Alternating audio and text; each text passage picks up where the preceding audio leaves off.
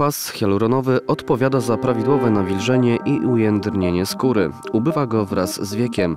Ze względu na swoje odmładzające właściwości coraz chętniej stosowany jest w chirurgii plastycznej i medycynie estetycznej. Kwasem hialuronowym wypełnia się zmarszczki na twarzy, podnosi jej owal, ujędrnia i rewitalizuje skórę, wygładza zmarszczki na szyi i dekolcie. Stosowany jest też w zabiegach korekty nosa, modelowania ust. Efekt utrzymuje się nawet przez półtora roku. O tym, jaki rodzaj preparatu zastosować, decyduje lekarz. Zapraszamy do specjalistów Twojego zdrowia.